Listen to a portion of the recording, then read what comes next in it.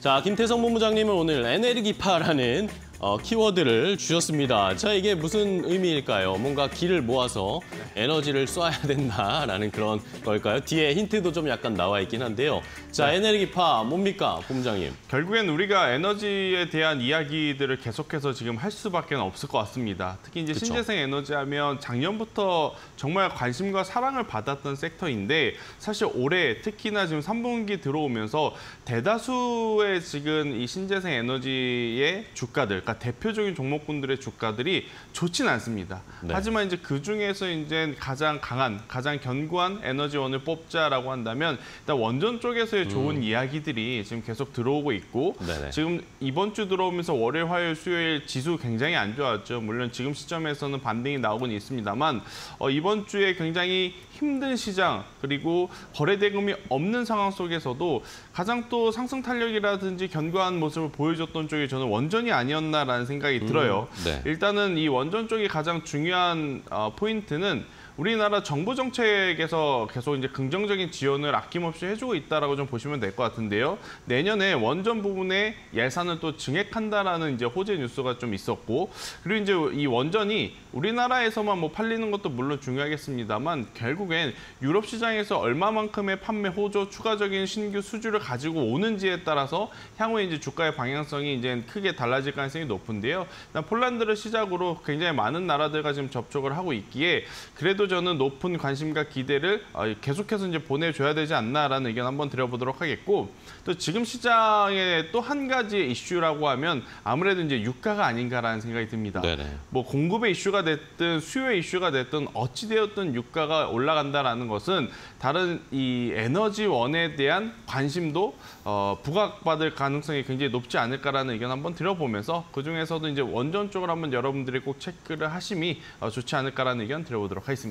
네, 알겠습니다. 원전 관련 종목을 지금 좀 살펴볼 타이밍이 왔다라는 의견을 주셨습니다. 말씀해 주신 것처럼 신재생 에너지 전반적으로 시세가 잘 안 나오고 있는데 그래도 견조하게 어, 원전 관련 종목들은 지켜주고 있고 버텨주고 있고 여기에다가 앞으로 나올 수 있는 이제 모멘텀이나 뉴스들이 많기 때문에 한번 기대를 해보겠습니다. 자, 그럼 관련해서 원전 관련 종목 어떤 종목 보세요, 본부장님? 어, BHI라는 종목을 한번 여러분들이 어, 오늘은 좀 보셔야 되지 않을까 혹은 연휴가 지나고 오더라도 꼭 체크를 하셔야 되는 기업 어. 중에 하나가 아닐까라는 생각이 듭니다. 네. 일단은 BHI에 관련해서 이제 좋은 뉴스 중 하나, 혹은 우리나라 원전 섹터에 지금 좋은 뉴스 중 하나는 이 웨스팅하우스와 한수원의 소송이 일단락됐습니다. 뭐 누가 이겼다라는 표현은 좀 맞지는 않는 것 같아요. 많은 이제 언론, 매스컴 보도를 보도를 통해서 여러분들이 기사를 접하는 것을 보시면 아무래도 이제 한수원이 뭐 승소했다라는 표현이 굉장히 맞는 것 같은데 네. 사실 승소했다라는 표현보다는 일단락이 됐다라는 표현이 좀 맞는 것 같아요. 왜 그러냐면 아, 미국 정부에서, 정부에서 웨스팅하우스에게 너희들이 한수원의 이 원전을 수출하는 거에 대해서 수출해라 마라 이것을 논할 자격은 없다라는 이야기를 했거든요. 그것은 우리가 알아서 하겠다라는 이야기를 했기 때문에 우선은 뭐 어느 한쪽이 이겼다 졌다라고 이야기하기에는 좀 그렇고 어느 정도 이제 마무리됐다라는 표현이 맞을 것 같고요. 대신에 이 주식시장에서 가장 싫어하는 것이 이제 불확실성이지 않습니까? 그런데 그런 불확실성이 하나 해소되었다라는 측면으로 본다면 저는 원전 쪽에는 굉장히 긍정적인 호재 뉴스다라고 좀 볼 수 있을 것 같고요. 아무래도 이제 앞서서도 좀 이야기 드렸지만 우리나라 정부 차원에서의 지원이 계속 어, 강력하게 좀 들어가고 있는 상황이다 보니까 탈원전 정책으로 힘들었던 대다수의 기업들이 다시 한번 본업에서의 수주도 늘어나고 있고 또 수주가 늘어난다라고 하는 것은 그만큼 실적에도 어, 기여하는 부분이 크기 때문에 저는 단기적으로도 중장기적으로도 굉장히 좋은 포인트들이 많은 현재 상황이다라고 좀 말씀드릴 수 있을 것 같고요. 또 이제 많은 원전주 중에 왜 BHI를 제가 선택을 했냐면 제가 앞서 이제 소송 이야기도 했지 않습니까? 근데 네. 이제 어, 공교롭게도 웨스팅하우스, 한수원 양쪽 모두에다가 지금 부품을 공급하는 기업이 BHI다라고 좀 보시면 될 것 같아요. 그러니까 누가 이기고 지고 이기 승패하는 상관없이 이 BHI는 그런 불확실성에서 조금은 상대적으로 거리가 먼 기업 중에 하나다라고 좀 보시면 될 것 같고요. 차트를 보고 이제 매매 전략을 짜 보시더라도 여러분들이 좀 느끼실 것 같아요. 아, 이 기업은 이번에 지수가 안 좋았음에도 불구하고 굉장히 지금 좋은 위치에서 흘러가고 있구나라는 것을 좀 느끼실 것 같은데요. 어, 공격적으로 트레이딩 하실 분들은 저는 오늘 종가에서 지금 윗꼬리가 달리지 않는 상황이다 보니까 충분히 가능하다라는 생각이 들어요. 대신에 최근에 이제 하단이라고 할 수 있는 7,000원이라는 가격대 밑으로 내려오게 되면 그때는 리스크 관리 차원에서의 매도는 꼭 필요하다라는 의견. 대신에 이제 여기서 올라가게 된다라고 하면 저는 만 원이라는 이제 목표가를 제시드리고 싶은데 네. 만약 이제 더 좋은 뉴스, 그러니까 우리가 이미 알고 있는 뉴스 외에 뭐 신규 수주라든지 실적이라든지 이러한 새로운 뉴스를 내보이면서 이 만 원이라는 가격대를 좀 넘어간다? 그러면 저는 목표가를 조금 더 높게 잡으셔도 괜찮은 기업 중에 하나다라는 의견 드려보도록 하겠습니다. 네, 알겠습니다. 자, BHI를 주셨어요. 원전 관련 종목을 살펴봐야 하는데 이 중에서도 뭐 한수원이나 말씀해 주신 웨- 웨스팅하우스 상관없이 어, 부품을 공급하는 회사이기 때문에 어, 큰 외부의 변수에 어, 강하다라는 의견을 주셨어요. 관련해서 저희도 종목 잘 살펴보도록 하겠습니다.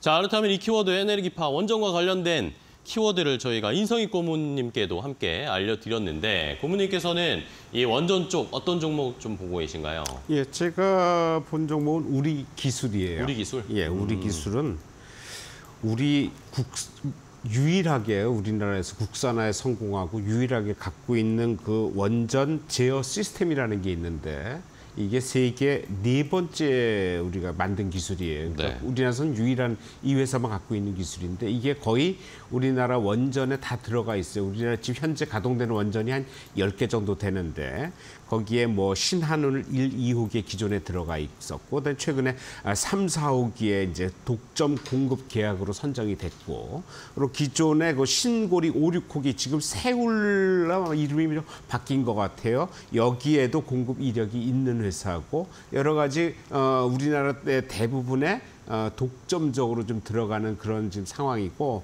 어 요게 지금 뭐 폴란드나 체코 원전도 이제 해외 수출도 지금 아, 우리나라에서 적극적으로 좀 정부 차원에서 밀고 있거든요. 그래서 여기에 갈 때 따라가는 그런 기술이기 때문에 어, 회사 수익에도 상당히 어, 증가할 가능성이 있다라는 생각이고 그래서 최근에 국책 과제로 해서 지금 SMR이라고 하는 그 소형 모듈 원자로 있잖아요. 네네. 거기가 지금 상당히 국제까지 수행 중인데 여기에 필수적인 당연히 기술일 거고 그도 중요한 게 이게 지금 사이버 보안 문제가 좀 있는 모양이 아무리 핵기라고 되니까 거기에 해킹이 되면 큰 문제가 생기거든요. 거기에 상당히 강화하는 그런 이제 시스템을 이 회사가 좀 갖추고 있는 것 같아요. 그래서 그런 쪽에서도 아, 상당히 경쟁력이 아니라 상당히 가- 좋은 현- 좋은 어, 회사를 회사의 그 능력을 갖고 있다라고 지금 생각이 들고 그다음에 이 회사가 그 원전 사업뿐만이 아니라 그 원전 해상 풍력 그다음에 SOC